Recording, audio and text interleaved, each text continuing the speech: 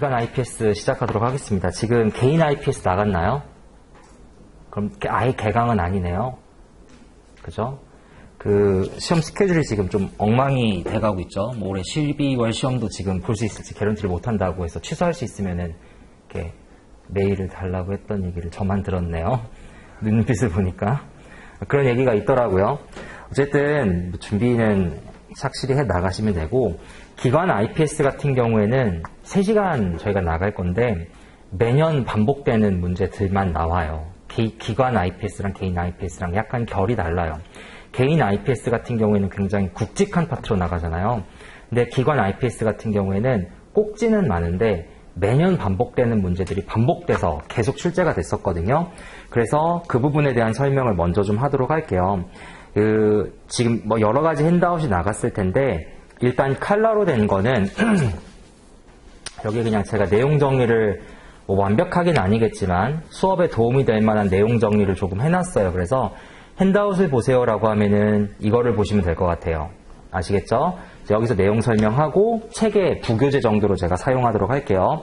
그리고 복잡하게 좀 복사된 문제가 있을 거예요. Institutional Essay Question이라 해서 2010년도 이렇게 1-10, 1-26뭐 이렇게 되는 게 있을 거예요. 이거는 각 회차별로 제가 지금 이번 진도를 나가잖아요. 그럼 오늘 풀어야 될 기출 문제를 여기다가 모아놨다고 생각하시면 돼요. 그래서 작년, 재작년부터 기출 문제가 공개가 안 돼요. 그래서 2000, 멀게는 2004년도부터 그 다음에 2018년도까지 기출 문제 중에서 리뷰 때 풀어야 될 거 빼고 수업 시간에 꼭 필요해야 될 기출 문제들은 각 토픽별로 제가 발라가지고 복사해 드린 겁니다. 그 복사해 드린 게 handout 1페이지 잠깐만 보시겠어요? handout 1페이지 잠깐만 보시면은 왼쪽 아래 보면 IPS 에세이라고 있을 거예요. 그쵸? IPS 에세이 보면 DB pension plan에서 2012년도 question number 6번의 B번, 15년도 question number 1번의 B번 이렇게 나와 있죠. 이게 그 topic에 대한 기출문제라고 생각하시면 돼요. 그래서 수업을 어떻게 나갈 거냐면 그 topic을 배우고 기출문제를 볼 거예요. 항상 수강생분들이 피드백이 오는데 왔다 갔다 안 했으면 좋겠다라고 얘기를 하세요. 왜냐하면 그냥 진도 한 번 쫙 나가고 기출문제 한 번 쫙 풀고 근데 그렇게 하는 거는 좋은 방식이 아니거든요. 그래서 조금 번거롭더라도 topic을 배우고 그 topic에 대한 기출문제를 반드시 풀 거예요. 왔다 갔다 하면서 풀 거라고요. 타픽 나가고 기출문제 보고 타픽 나가고 기출문제 보고 왜 그래야 되냐면은 에세이로 나오는 파트가 무조건 정해져 있어요. 딱 그 부분만 에세이로 나와요. 그래서 그 부분만 에세이로 보고 나머지는 다 multiple로 대비하면 굉장히 심플해지거든요. 에세이 문제가. 그리고 에세이도 심지어는 반복돼서 나온다고요. 나중에 보시겠지만 한 해도 빠짐없이 나오는 데서 똑같이 나오고 나오는 유형이 똑같이 나와요. 그래서 타픽 배우고 기출문제 볼 거예요. 그 기출문제 보시면은 순서도 막 제가 막 바꿔놨거든요. 그래서 어떤 분들이 이제 피드백이 연차별로 풀었으면 좋겠다. 아니에요. 제가 오죽하면 이렇게 해놨겠어요. 난이도별로 놓은 거예요. 그래서 지금 보면은 12년도, 15년도, 8년도 내려가죠. 이게 난이도 순이에요. 이 순으로 푸셔야 돼요. 그 다음 리스크 하시면은 10년도, 13년도, 14년도, 15년도, 17년도 이렇게 올라가죠. 이게 난이도 순이에요. 그러니까 그냥 배치한 거 아니거든요. 이 난이도 순서대로 푸셔야 돼요. 그러니까 얘기를 안 하면은 아실 줄 알았는데 안 하면 모르시더라고요. 그래서 이 순서대로 나갈 겁니다. 그래서 타핑 나가고 기출 문제 반드시 볼 거예요. 그래서 지금 여기 복사해 드린 거를 보시면은 2010년도부터 시작해가지고 올라가게 돼 있어요. 2012년도, 그 다음에 뭐 13년도 이렇게 올라가죠. 17년도 거는 복사가 오늘 안 돼가지고 이따가 다시 해드릴 거예요. 그러니까 걱정하지 말고 1교시 끝나면 17년도 복사 한번 올 거니까 합쳐놓고 제가 나중에 2012년도 가주세요라고 하면 빨리 여기서 찾을 수 있어야 되겠죠. 그래서 여기 위에 보시면은 여기 위에 가운데에 제가 몇 년도 기출 문제인지 몇 번 문제인지 넣어놨거든요. 맨 위에 있죠. 그래서 본인이 뭐 중간에 뭐 테이프를 붙여놓던지 접어놓던지 하셔가지고 아니면 이거를 따로 분리해 놔가지고 연도별로 갖고 계시던지 아니면 그냥 이렇게 이거는 DB 거야라고 해서 이렇게 갖고 계시던지 편한 대로 보실 때 제가 몇 년도 기출 문제 가주세요라면 그쪽으로 빨리 가주시면 돼요. 아시겠죠? 그 다음에 공부를 어떻게 해야 되는지를 한번 생각을 해봅시다. 에세이라고 하면은 에세이라고 하면은 어려워 보이죠. 근데 그렇지 않아요. 왜 어렵지 않냐면은 나중에 IPS 특강 때 배울 거예요. 에세이는 나오는 대서만 나와요. 그리고 나오는 유형도 정해져 있고요. 그게 반복됐고요. 그럼 왜 기출문제를 최근에 공개를 안 하냐? 제 개인적인 주관적인 생각은 그래요. 에세이를 공개를 하기 시작하니까 매년 반복되는 문제가 똑같이 나오는 거예요. 그래서 유형을 바꾸는 데에도 한계가 있다고요. 조금씩 어렵게 나오긴 했지만 매년 조금씩 유형을 바꾸는 게 한계가 있기 때문에 매년 반복되고 매년 똑같은 답이 나오니까 결국에는 공개를 안 하기로 결정했다는 게 제 생각이에요. 그래서 작년도에 교재를 바꾸면서 에세이를 공개를 안 하기로 결정을 했어요. 그럼 내용이 바뀌니? 아니에요. 내용이 똑같아요. 토픽이 똑같다고요. 그러니까 결국에는 올해 수혜저 공부하고 지금 현재 바뀐 수혜저로 시험을 본 적은 한 번도 없어요. 바뀐 수혜저로 시험을 본 적이 없기 때문에 올해 봤었어야죠. 근데 올해 6월달에 못 봤잖아요. 올해 12월에 본다고요. 그러니까 여러분들이 바뀐 수혜저로 보는 첫 세대고 그럼 절 결국에는 수혜저를 보되 기출문제가 그 전에 어떻게 나왔는지를 반드시 참고를 해야 된다고요. 아시겠죠? 그래서 반드시 저는 이렇게 추천드리거든요. 매년 연도별로 나왔던 기출문제를 다 뽑으라 그래요. 다 뽑고서 그 다음에 제가 공부할 땐 그랬거든요. 저는 2010년도에 봤었는데, 10년, 11년도 이때 봤었는데, 그때는 기출문제도 얼마 없었었어요. 왜냐면은 제가 기억하기로는 04년도부터 기출문제가 있긴 했는데 유의미하지 않았었어요. 그래서 저희 커리큘럼으로 바뀌었던 게 2008, 9년도에 바뀌었으니까 거의 2, 3년차 정도의 기출문제밖에 없었거든요. 근데 그래도 저는 2004년도부터 기출문제를 다 인터넷 가면 찾을 수 있거든요. 아니면 저한테 얘기를 하시던가 학원에 얘기를 하세요. 보내드릴게요. 그거를 뽑아가지고 각 토픽별로 다 발랐어요. 기관 IPS 문제, 뭐 문제, 뭐 문제, 뭐 문제 바르고 그 다음에 나중에 제가 한번 재수했거든요. 레벨 3 같은 경우에는. 나중에 보니까 기출문제가 토픽별로 정해져 있고 그 토픽에 대한 게 쫙 나오더라고요. 그래서 그다음부터는 그 토픽에 대한 에세이만 암기를 하기 시작했죠. 그렇게 공부를 하셔야 돼요. 두 번째, 기출문제를 보시면은 에세이가 나오는 데서 나오는데 이 문장을 암기하기를 굉장히 버거하시는 분들이 있거든요. 네, 그렇게 생각하지 말고 화살표로 그리셔도 돼요. 무슨 얘기냐면 예를 들어서 이자율 올라가면 채권 가격 떨어지잖아요. 그러면은 if interest rates increase 이렇게 문장으로 풀어 쓰셔도 돼요. Then the price of fixed income assets decrease 이렇게 쓰셔도 돼요. 상관없어요. 근데 그냥 그렇게 쓰지 말고 interest rate 화살표에서 이렇게 쓰시고 이렇게 화살표 그린 다음에 price of fixed income 이렇게 내리셔도 상관없다고요. 어떻게 쓰는지 아시겠죠? 간략하게 쓰셔도 상관없어요. 그래서 기출문제를 많이 보고 본인이 본인만의 죄송한데 에어컨 좀 조금만 온도 좀 낮게 아니면 바람 좀 세게 틀어주시겠어요? 본인이 에세이 문제를 푸시면서 어떻게 답안을 작성을 할 건지를 미리 좀 연습을 반드시 하셔야 돼요. 제가 1년차 때 이 패착이 뭐였었냐면 원래 수혜자 먼저 공부하지 않아요? 기출문제가 레벨 1, 2 때 없잖아요. 그래서 Schweser랑 curriculum book을 드립다 팠어요. 열심히 보고 그 다음에 이제 나중에 기출문제를 보면서 내가 얼마나 공부를 잘했는지를 검증해보자라고 생각을 했었다고요. 그래서 시험을 얼마, 얼마 앞두고 기출문제를 풀었죠. 근데 웬걸 기출문제가 하나도 안 풀리는 거예요. 왜냐면은 스웨저의 내용 자체가 레벨 1, 2처럼 깔끔하게 정리되어 있지 않아요. 굉장히 중구난방으로 나와 있어요. 그래서 제가 진도를 중구난방으로 나갈 거예요. 왜냐하면 제가 생각하기에는 그게 systematic하게 나가는 거거든요.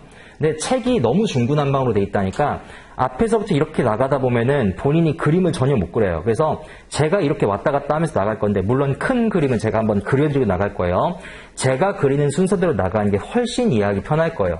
모든 레벨 3 토픽이 그렇게 돼 있거든요. 그래서 강사나 아니면 수강생이 그거를 자체적으로 organize를 하지 않으면은 이게 나중에 다 배운 다음에 뭘 배운지 너무 헷갈린다고요. 레벨 3가 그래요. 그래서 사람들이 힘들어하는 게 공부가 완벽하게 된 상태에서는 레벨 3가 topic이 훨씬 적고 양도 적어요. 심지어는 제가 생각했을 때는 한 20% 정도 적은 것 같아요. 레벨 2보다는 많게는 30%까지도 적은 것 같아요.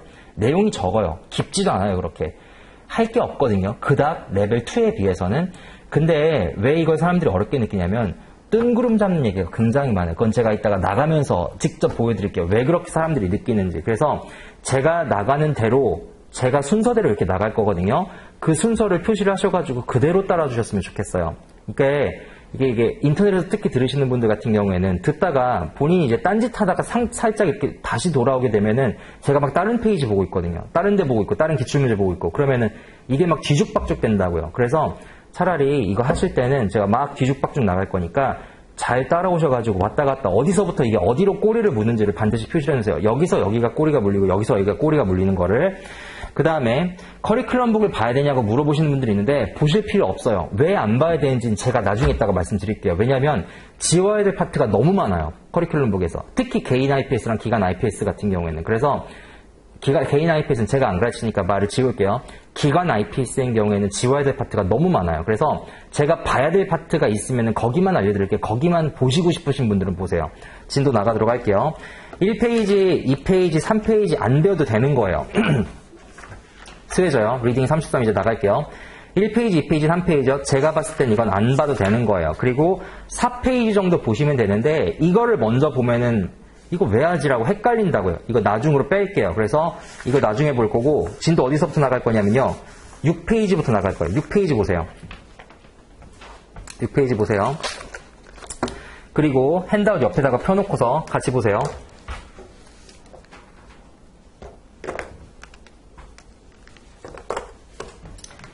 기관 IPS는요. 핸드아웃에 다 있는 거예요. 그러니까 그냥 보시면서 이해하시고 본인이 안 되는 것만 쓰세요. 크게 어떻게 나뉘냐면은 A5 어프로치랑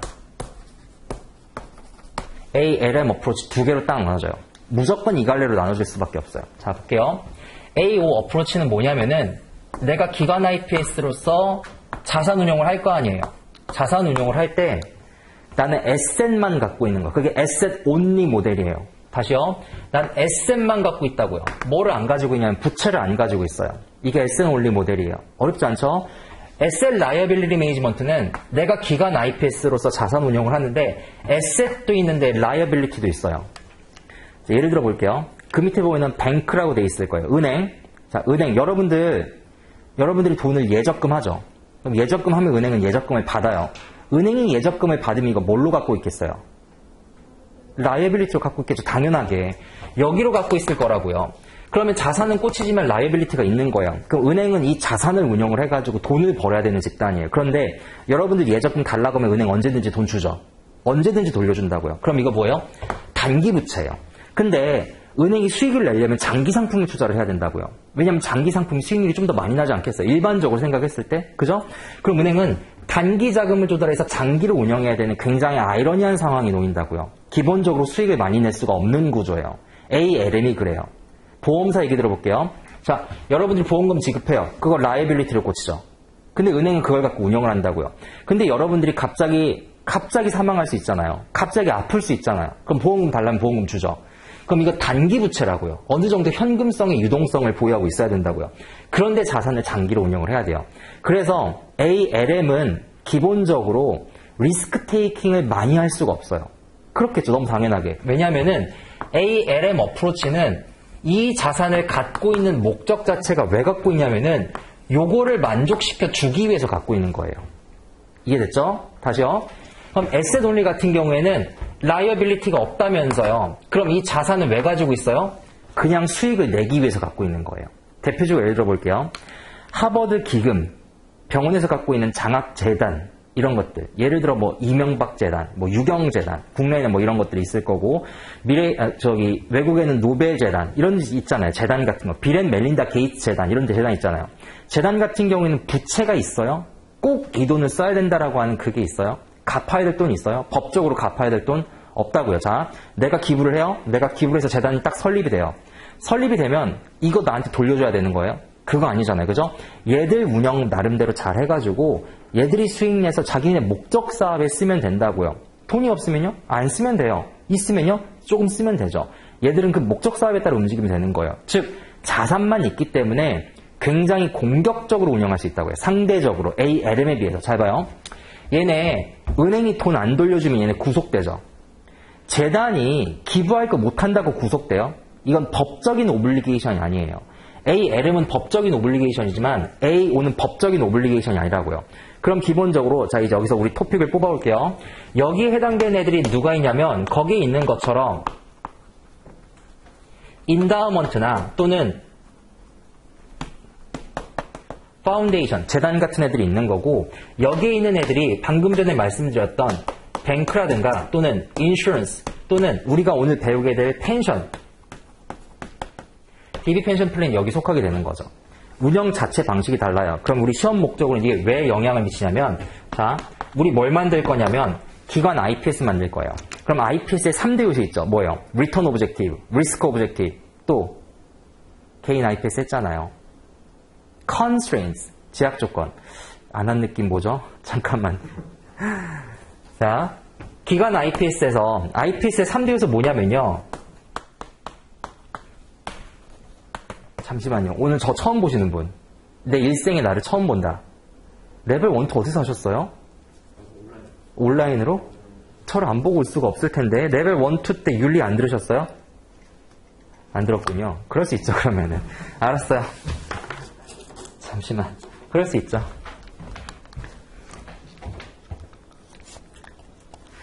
자, IPS부터 다시 합시다. IPS의 3대 요소는 Return Risk Constraints예요.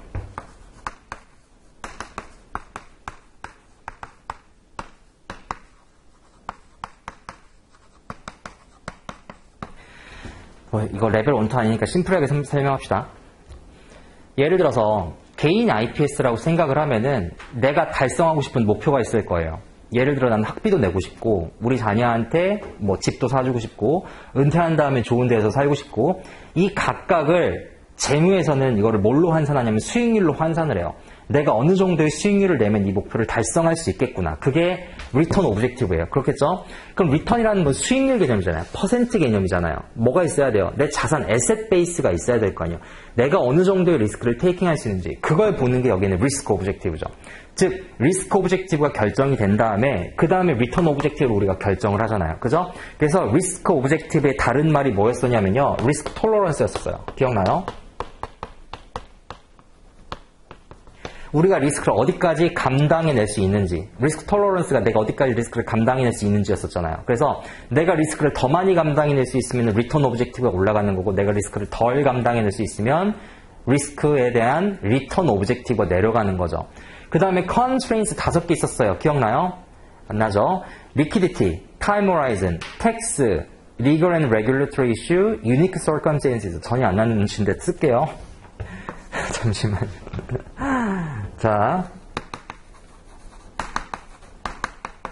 liquidity, time horizon, taxes, legal and regulatory issue, unique circumstances. 책에 나오는 거니까 일단 심플하게 썼어요. 이렇게 한 장으로 만든 게 IPS라고요. 그러면은 제약 조건의 리퀴디티는 뭘 의미하냐면은 리퀴디티라고 얘기를 하는 거는 예를 들어서 내가 장기적으로 자산 운용을 하는데 우리 애가 다음 달에 대학에 들어간대요. 그래서 내가 이 돈을 현금으로 당연히 들고 있어야 되겠죠. 애 돈 불려준다고 그걸로 비트코인 하고 있으면 되겠어요. 그걸로 땡기고 있으면 되겠어요. 경마하면 돼요? 아니죠. 즉 장기적으로 운영이 돼야 될 자산에서 유동적으로 내가 현금으로 보유하고 있어야 되는 현금 부분은 따로 빼놔야 된다고요. 그게 liquidity에 대한 needs예요.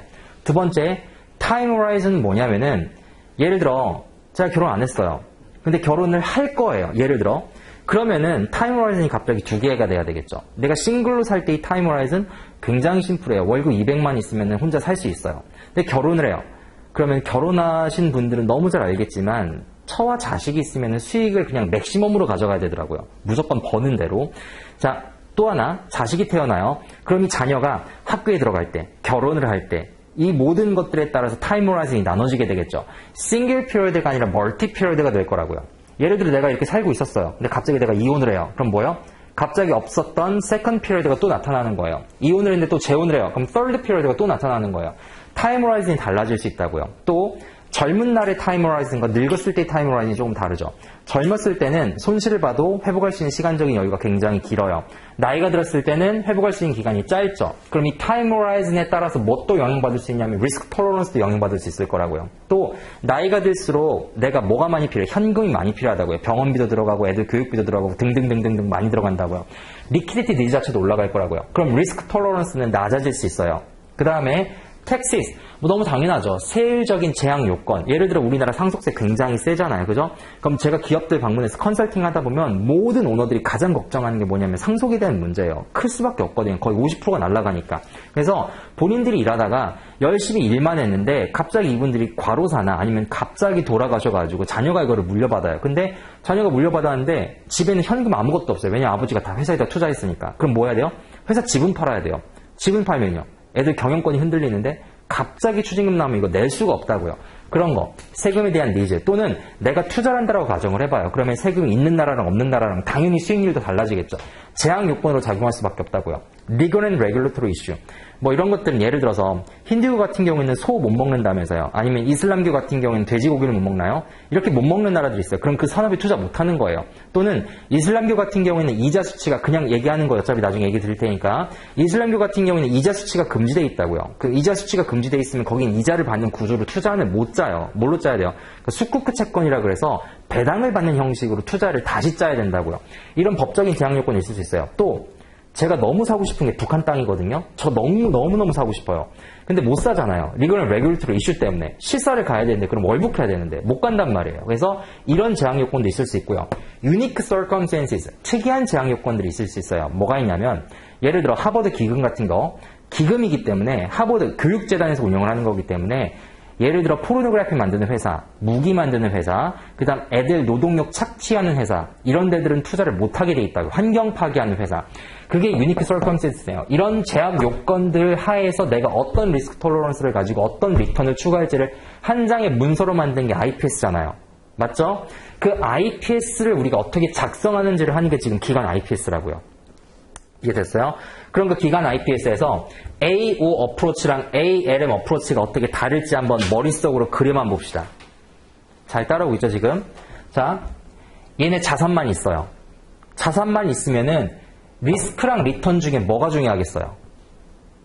return이 중요하죠. 무조건 극대화하면 되는 거예요. 무조건 높게 가자. 왜? 갚을 돈이 없으니까. 얘는요, ALM은요, 리스크가 중요하겠죠.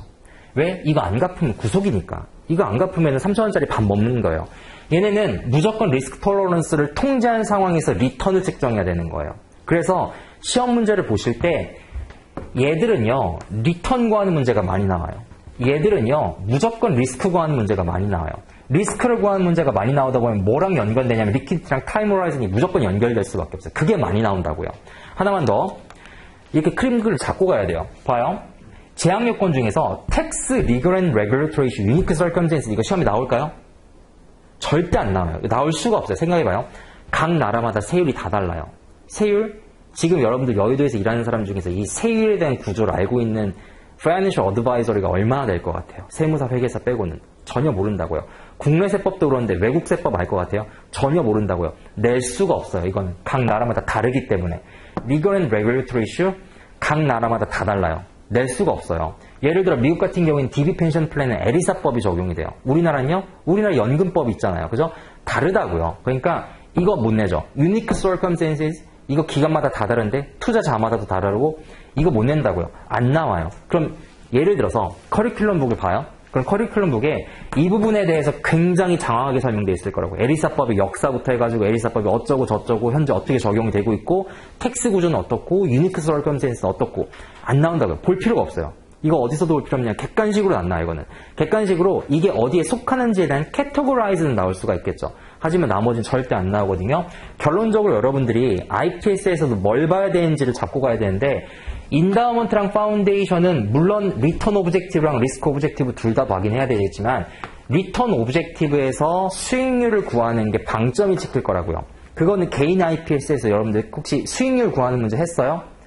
그래요. 안 했다고 생각하고 제가 할게요. 개인 IPS에서 가장 중요한 문제가 뭐냐면은 required rate of return 구하는 문제가 있어요. 모든 수험생들이 거기에 집중하는데 좀 왜 하는지 모르겠어요. 그냥 skip해도 합격하는 데 지장 없거든요. 어쨌든 return objective 구하는 거에 굉장히 집중하셔야 된다고요. 두 번째, bank insurance pension 같은 경우에는 risk objective를 구하는 거에 굉장히 집중하셔야 돼요. 그럼 risk objective를 구한다는 건 뭘 의미하냐면은 리스크라는 게 구할 수가 있는 숫자가 아니에요. 그잖아요. 그럼 어떻게 구하는 거야, 이거는? 내가 이런 상황인데 얘는 risk tolerance가 높아? 내가 이런 상황인데 얘는 risk tolerance가 낮아? 이거 구하는 거라고요. 그래서 어떤 factor가 주어지면 그 factor에 내가 어떤 영향을 받는지를 가지고 시험 문제 나올 거예요. 이따 다시 한번 설명드릴게요. 그래서 그 과정에서 밑으로 넘어갈게요. handout. 그 밑에 보시면요. 제가 IPS에서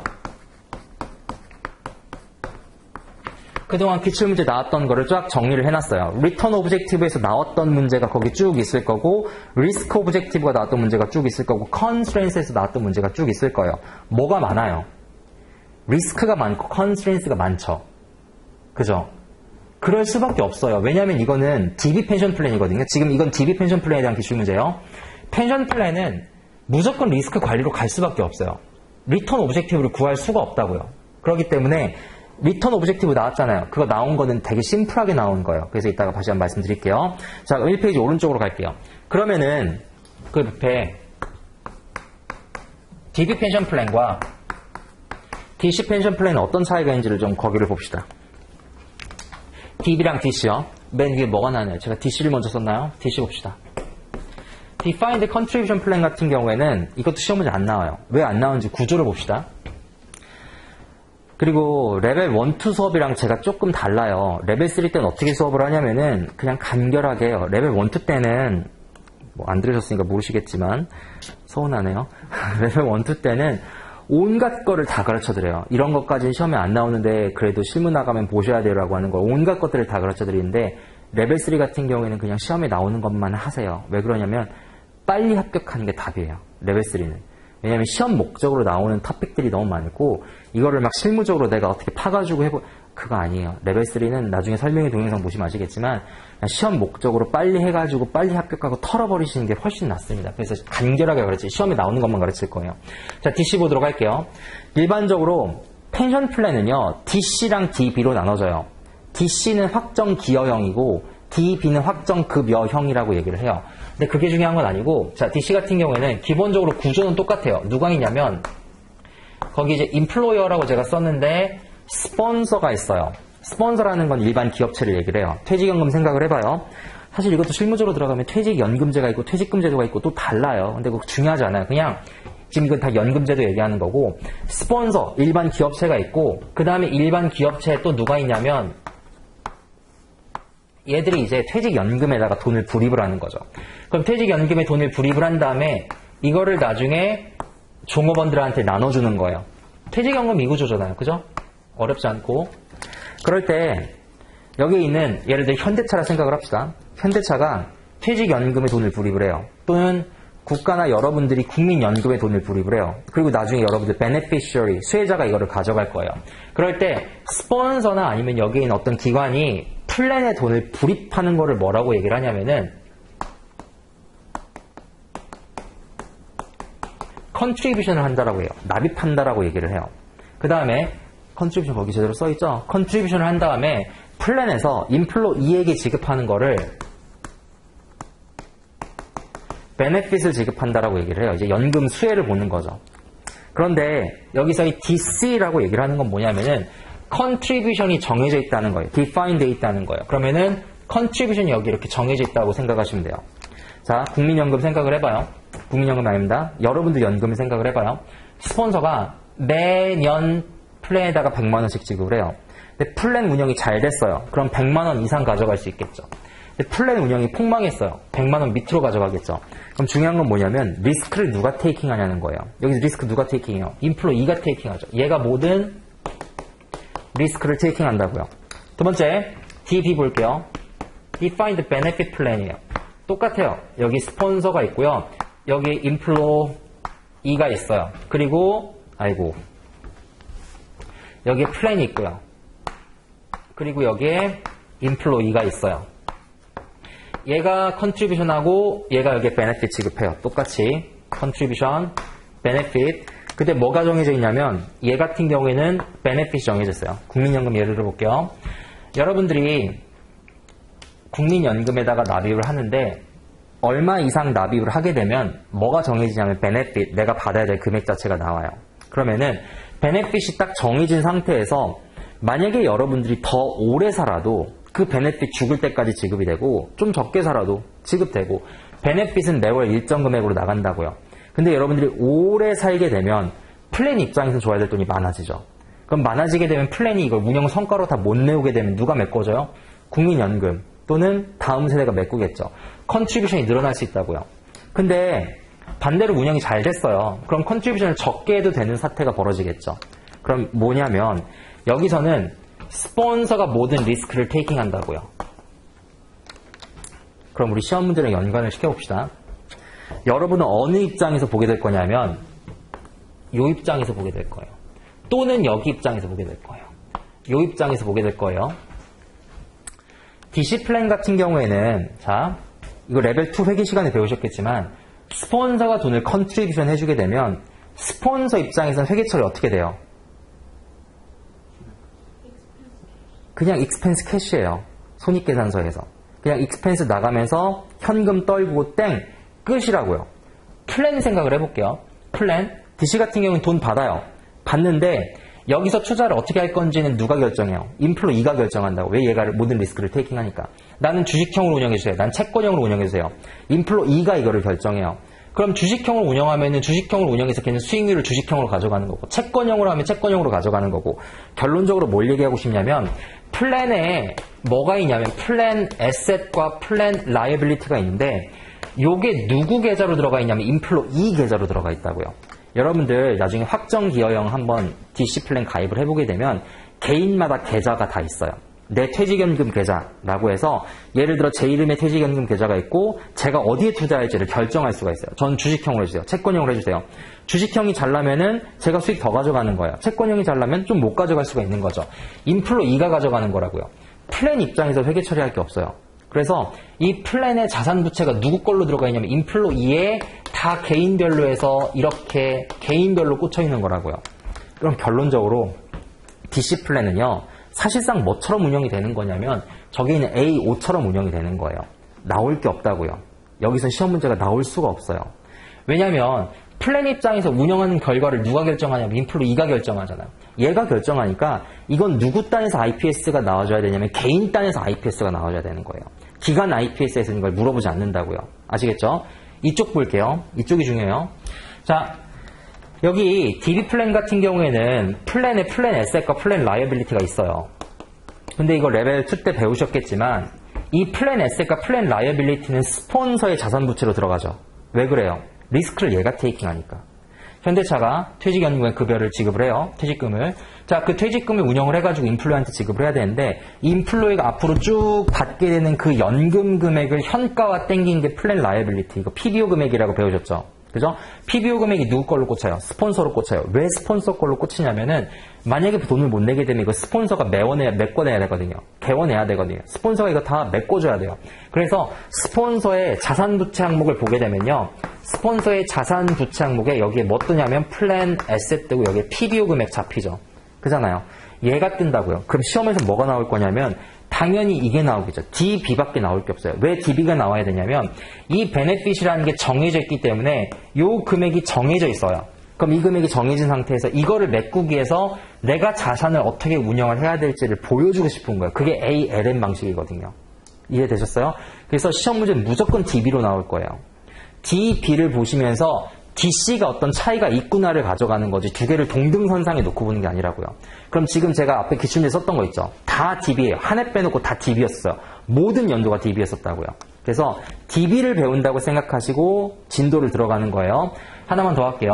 DB pension plan은 뭐 보는 거냐면 return objective, risk objective, constraints 배우는 거예요. 아시겠죠? 이거 배우는 겁니다. 자, 그럼 일단 DB 배웠으니까 첫 번째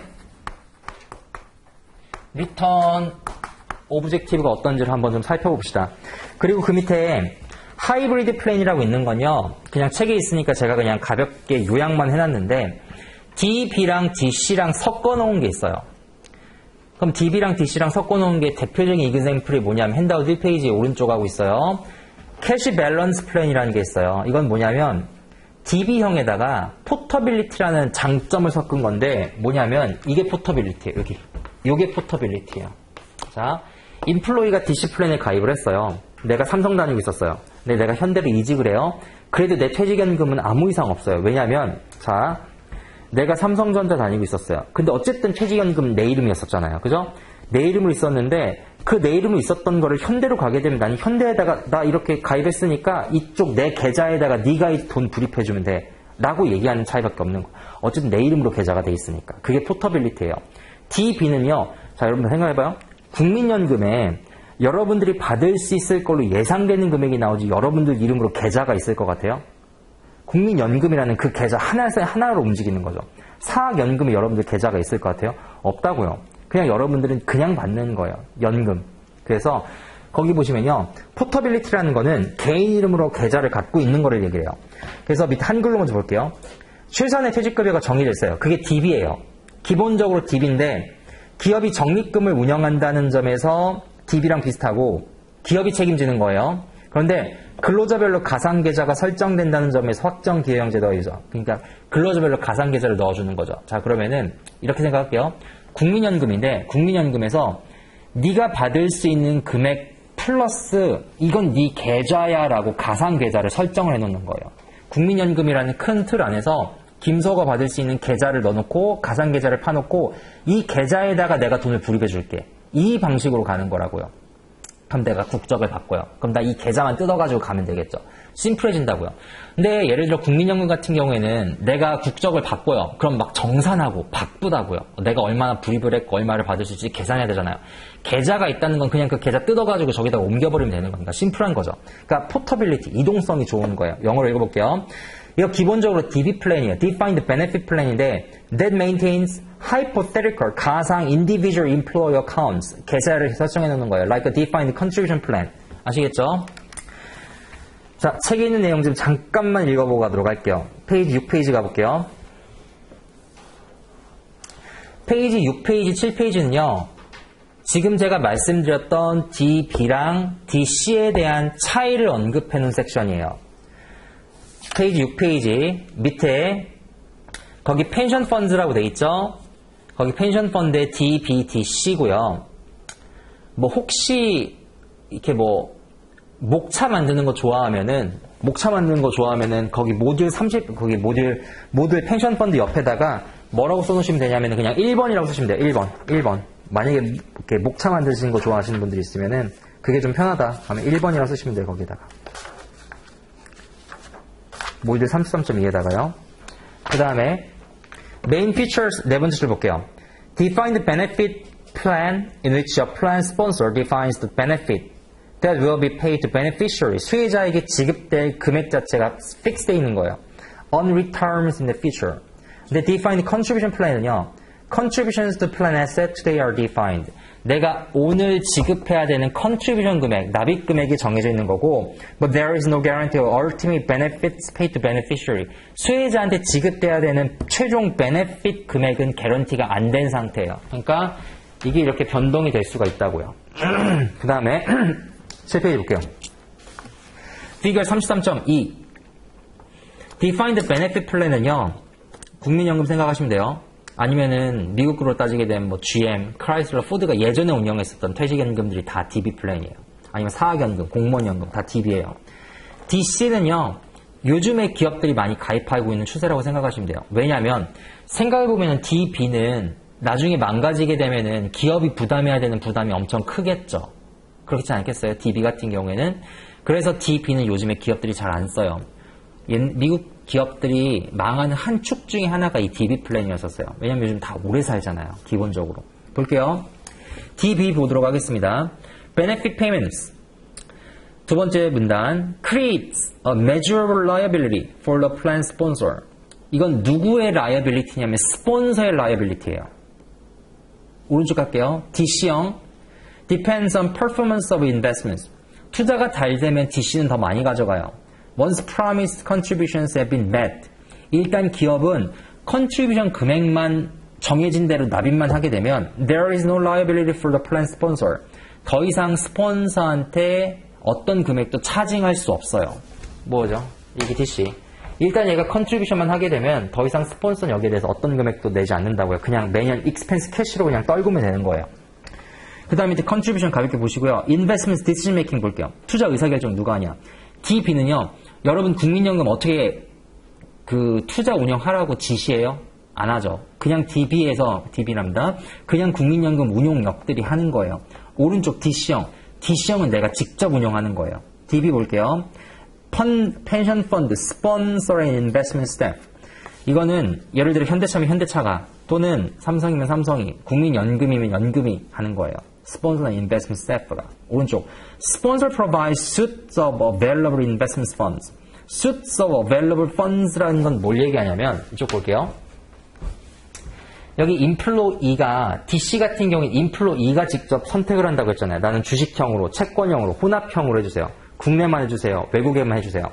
근데 여기 인플로 E들이 여러분들은 지금 투자를 배우고 있으니까 내가 뭘 해야 되겠지 알지만 예를 들어 제조업에 계신 분들은 이거 잘 알까요? 테크 쪽에 있는 분들 잘 알까요? 모르신다고요. 일반적인 블루칼라 노동자들 이거 잘 몰라요. 그럼 이분들한테 적어도 주식형은 뭐예요? 채권형은 뭐예요? 라고 설명하는 education이 필요하고 그게 ERISA법이거든요. education을 해주고 그 다음 옵션을 주라고 돼 있어요. 주식형도 하나, 채권형도 하나, 혼합형도 하나 등등등등 국내 외국 이렇게 해가지고 아시겠죠? 그 옵션을 누가 제공해야 되냐면은 여기에 있는 스폰서가 이 플랜에 어떤 플랜들이 있는지를 가입할 수 있는 금액을 여기 인플로이한테 직접 교육시키고 제공하게 돼 있어요. 그거를 얘기하는 거예요. Suits Available Investment Funds. 아시겠죠? 여러 가지 옵션들을 제공해 주는 거를 얘기를 해요. Employee decides level of investments and asset allocation. 그리고 결정적으로 종업 원이 어디다가 투자를 할지를 결정을 해요. 그 다음 investments risk 보도록 할게요. 투자 리스크 누가 지냐면요. Faced by sponsor. 스폰서가 지는 거고요. 오른쪽 contribution 같은 경우에는 faced by beneficiary. 수혜자가 직접 지는 거예요. 종업원이 지는 거예요. mortality longevity risk. 이건 뭐냐면 longevity 리스크는 오래 사는 리스크고 mortality 리스크는 조기 사망 리스크예요. 그럼 조기 사망했을 때의 리스크는 저기 보시게 되면 그냥 심플하게 생각해서 가정이 있을 때 부모님이 조기 사망 모탈러티를 하게 되면 그 리스크는 자녀분이 지는 게 맞겠죠. DB라고 생각을 해봐요. 국민연금. 이분이 렁지비티 너무 오래 살아요. 그럼 재정이 고갈되겠죠. 그럼 이거는 스폰서가 지는 게 맞아요. 그 내용들이 지금 여기 언급되어 있는 거예요. 읽어볼게요. Poor at the fund level. DB 같은 경우에는 렁지비티 리스크 누가 지는 거냐면요. 네, 스폰서가 지게 돼요. Poor at the fund level. Beneficiaries live longer than expected. 자, 수혜자가 너무 오래 살게 되면 funded by those who die earlier than expected. 누가 지는 거냐면 이거는 네, 먼저 죽은 사람들에 대한 재원이 조금 남았으면 그걸로 메꾸고 그렇게 안 되면은 후속 세대가 지게 되는 거예요. 심플하죠, 다시요. 국민연금 같은 경우에는 예를 들어서 이 사람한테 줘야 되는 금액 자체가 정해졌을 거라고요. 근데 어떤 사람 너무 조기 사망해가지고 금액이 조금 남으면 이 재원을 가지고 오래 사는 사람들을 메꿔주고 그렇지 않으면은 뒤에 세대가 이걸 메꿔줘야 되겠죠. 그 내용이 지금 여기 써 있는 거예요. Risk of general increases in life expectancy faced by sponsor. 일반적으로 지금 기대 수명이 늘어나기 때문에 그 리스크는 스폰서가 다 지게 된다고요. 오른쪽 볼게요. Employee faces longevity risk. 누가 지는 거냐면 이거는 종업원이 져요. 왜냐면 자 이해해 봅시다. 내 은퇴 시점 정해져 있어요. 내가 DC로 열심히 불입을 했어요. 그래서 10억을 모았어요. 근데 내가 천년을 살아요. 그러면 한 달에 1년에 10만 원씩 써야 된다고요. 그러면은 인플로 2가 지게 되는 거죠. longevity 리스크를. risk of outliving their own savings. 그래서 너무 오래 사는 것도 비극이에요. 보도록 하겠습니다. Over recent decades. 자, 최근에 몇십 년 동안 there has been a move from DB to DC plans. DB형에서 DC로 점점 점점 추세가 오고 있어요. 맞아요. 옛날에는 8대2, 7대3, 지금은 이제 거의 5대5까지 올라왔거든요. 지금 DC는 거의 5대5라고 생각하시면 돼요. 근데 기본적으로 DB가 컸던 이유는 연기금들이 다 DB예요. 그렇잖아요. 그래서 연기금들이 다 DB이기 때문에 지금은 거의 비등비등하다고 치고 신규 가입되는 걸로 치면은 DC가 사실 훨씬 많죠. 근데 기본적으로 연금 중에 제일 큰 거는 사학연금, 공무원연금, 국민연금 이거잖아요. 다른 나라도 역시 마찬가지고 그렇기 때문에 DB가 좀 커요. 그거보다 보도록 할게요. 밑에 Hybrid, hybrid plans also exist that exhibit features of both DB and DC. For example, cash balance plan은요, involves sponsor defining contributions to assets. 자, 스폰서가 contribution을 하긴 하는데, which are then pooled. Sponsor faces some of the investment risk as per DB plan. 심플하게 설명이 나와 있지만 제가 아까 설명한 걸로 그냥 기억하시면 될 것 같습니다. 그 밑에 7페이지에 DB plan이라고 나와 있고, 그 다음에 다음 장 가시면 이제 DB 플랜에 대한 내용이 쭉 나와요. 그리고 13페이지를 가면 DC 플랜이 나와요. 그죠? 제가 아까 진도 왔다 갔다 하면서 나간다고 했잖아요. 왜 왔다 갔다 해야 되는지 잠깐 설명할게요. 그리고 쉬는 시간 가집시다. 자, 7페이지 잠깐만 가볼게요. 설명하는 시간이에요. 7페이지 보면 DB 플랜이 있어요. 그리고 stakeholders라고 되어 있는데 그건 뭐에 대해서 얘기하는 거냐면 DB 플랜의 관련자들이 뭐가 있냐, 누가 관련돼 있지를 보여주는 거예요. 그 의미 없는 단원이에요. 그냥 배경 지식. 그 다음에 13페이지를 잠깐 다시 가다 보면은 거기도 스테이크홀더가 있어요. 그죠? 이것도 관련자들이에요. 그러니까 그냥 배경 설명이라고요. 그럼 다시 8페이지 돌아와서 그럼 진짜 중요한 건 이제 8페이지부터인데 liability, investment horizon, risk consideration 그게 오른쪽 페이지에 있죠. 그죠?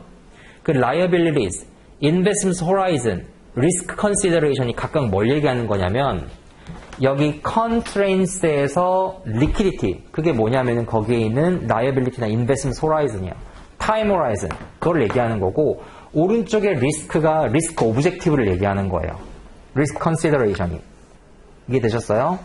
그 다음에 11페이지 가볼게요. 11페이지를 가시면은 liquidity needs라고 돼 있죠. 11페이지에.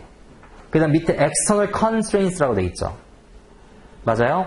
그 liquidity가 여기 constraints의 liquidity고 나머지가 tax, legal, unique circumstances예요. 그래서 12페이지를 가시면은 거기 두 번째 문단에 tax라고 나오잖아요. 문단에. 그죠? 그 다음에 12페이지 맨 아래로 가시면은 investment objectives라고 돼 있을 거예요. 맞아요? 그 investment objective가 return objective예요. return objective. 그럼 순서상 뭐 먼저 공부해야 되냐면 return objective부터 공부하는 게 맞거든요. 그래서 12페이지의 맨 밑에부터 공부를 하고 넘어가야지 이해가 돼요. 13페이지 갈게요. DC는 다르냐? DC도 똑같아요. DC도 보면은 거기에 liability랑 investment horizon이라고 돼 있죠. 여기 liability가 constraints예요. investment horizon, time horizon이잖아요. 그죠? 그 다음 13페이지 맨 아래 보시면 liquidity needs라고 돼 있어요. 그 다양한 페이지를 보시는데 13페이지 보고 있어요. 13페이지 맨 아래 가시면 liquidity needs라고 돼 있죠. 그게 constraints의 liquidity라고요. 그 다음에 페이지 14페이지로 가면 external constraints라고 돼 있죠. 그 external constraints가 tax, legal and regulatory issue, unique circumstances예요. 그리고 밑에 investment objective라고 돼 있을 거예요. 그게 return objective예요. 그거 먼저 공부를 해야 돼요. 그래서 진도를 어떻게 나갈 거냐면요. DB랑 DC랑 같이 볼 건데 DC의 return objective를 보고 DB의 return objective를 볼 거예요. 그 다음에 DC의 risk objective를 보고 DB의 risk objective를 볼 거고요. 그 다음에 constraints도 DC를 먼저 보고 DB를 볼 거예요. 그러니까 순서가 완전히 뒤바뀌어서 나갈 겁니다. 근데 본인들이 거기에 표시를 해놓는 것도 저는 좋을 것 같아요. 그래서 나중에 앞에다가 지금 신시장 가질 거니까 써놓으세요. DC랑 DB랑 비교해서 보는 건데 DB가 메인이에요. 그래서 DC는 곁가지기 때문에 DB를 먼저 보셔도 상관없고 DC를 먼저 봐도 되는데 저는 DC를 먼저 볼게요. DC를 보고 DB를 본 다음에 DC 중에서도 return을 먼저 보고 risk를 보고 constraints를 보는 거예요. 그러니까 맨 뒤에서부터 이렇게 와야 되는 거예요. DB도 마찬가지예요. 맨 뒤에서부터 이렇게 봐야 되는 거예요. 그래야 이해가 훨씬 쉬워요. 아시겠죠? 그리고 이 내용 나가고 여기에 해당되는 기출문제 풀고 그 다음에 넘어가도록 할게요. 쉬는 시간 7분만 가지고 그 다음 handout 2페이지부터 진도 나가도록 하겠습니다. 혹시 질문 있으세요? 네, 질문하세요.